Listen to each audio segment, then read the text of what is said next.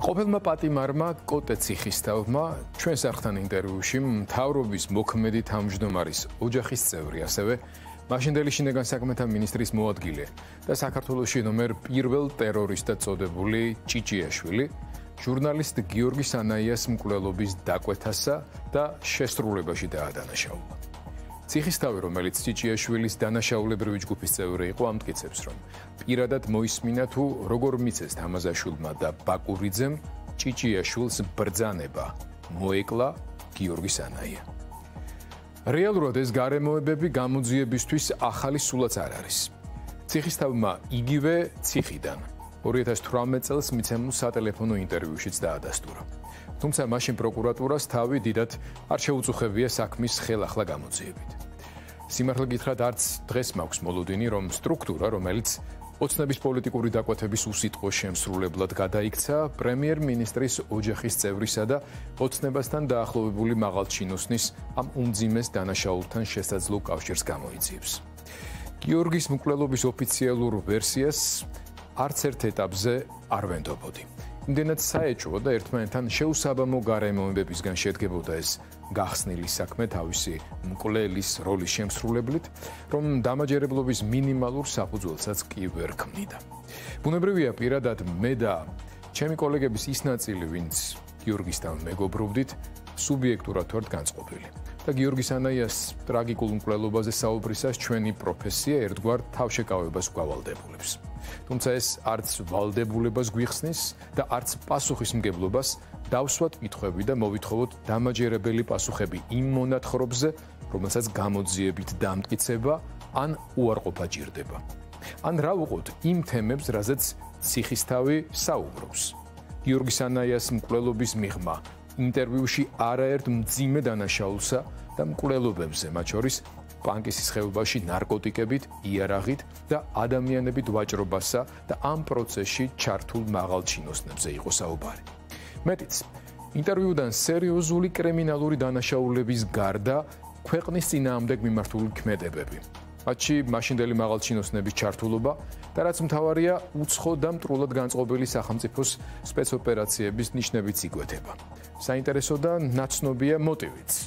მოსკოვი პანკისის ხეობაში კონფლიქტის პროვოცირებით ჩეჩნებს ადგილობრივ ქისტებსა და ქართველებს შორის შუღლის გაღვივებით, კონტროლირებადი ქაოსის შექმნით, რუსული სპეცსამსახურების აგენტების აქტიური ინფილტრაციით და არ შემდგარი სახელმწიფოს სუსტი რგოლების გამოყენებით წინაპირობებს ამზადებდა საქართველოსი სამხედრო დაბრუნებისთვის. მიამბოხე ჩრდილო კავკასიის სამხრეთი საზღვრის სრულად კონტროლისთვის, თუნდაც ცალმხრივად ლეგიტიმური საფუძვლის შესაქმნელად და საჯარისო დანაყოფების განსათავსებლად. არ უნდა დაგვავიცდეს, რომ ეს პუტინის მმართველობის დასაწყისია და სწორედ იმ პერიოდში იქმნებოდა და იწრთობოდა სამეზობლოში ინტერვენციის რამდენიმე სულიანი სქემა, რომელიც შემდგომში უფრო დაიხვეწა და მოგვიანებით პუტინმა არა მარტო საქართველოსში არაერთხელ გამოიყენა. ამ ყველაფერში კი მოსკოვს საქართველოს მაშინდელი მაღალჩინოსნების ნაწილი გააზრებულად, მათ შორის თუნდაც კორუფციული ინტერესის გამოუწყობდა ხელს. ეს ფიგურები კი დღეს ქართულ ოცნებასთან დაახლოებული პირები არიან და მათ ხელისუფლებაში მოსვლაშიც სერიოზული წვლილი მიუძღვით.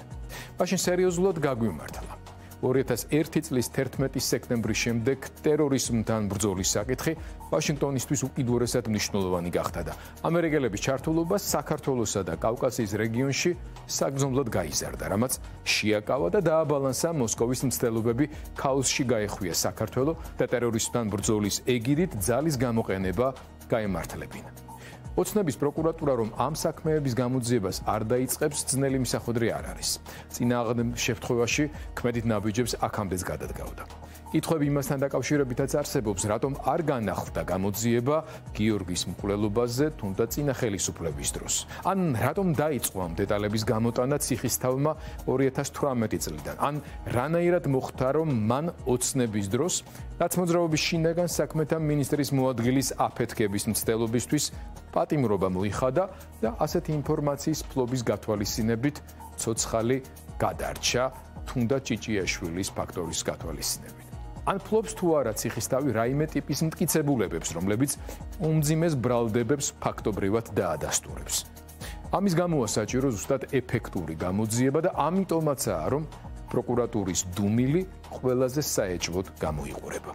გარდა ამისა, ჩვენი უახლესი ისტორიის ამ ტრაგიკული კრიმინალური საქმეების გამოძიებას მნიშვნელოვანი პოლიტიკური კონტექსტი აქვს. თუ გვინდა რომ ჭკუა მაინც ვისწავლოთ, როგორც სახელმწიფო გადავრჩეთ და გავძლიერდეთ, კარგად უნდა დავფიქრდეთ. როგორ შეიძლება რომ ადამიანები, რომლებიც ტრულად განწყობილ სახელმწიფოსთან საკუთარი ქვეყნის და მოქალაქეების წინააღმდეგ იყვნენ კოლაბორაციაში, დღეს შესაძლოა მაღალ თანამდებობებზე იყვნენ და ქვეყანას მართავდნენ. პანკისის царსულის ეკომ ციხის თავის ხმით ჩვენი ქვეყნის კონკრეტული ოჯახების და ადამიანების ტრაგიკული царსული წარეჩი გვახსენა.